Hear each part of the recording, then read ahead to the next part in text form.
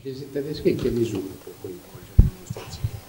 Beh, eh, diciamo che la crisi tedesca che eh, è partita già da più di un anno e mezzo eh, ha già penalizzato le crescite che noi abbiamo avuto in, in, questi anni.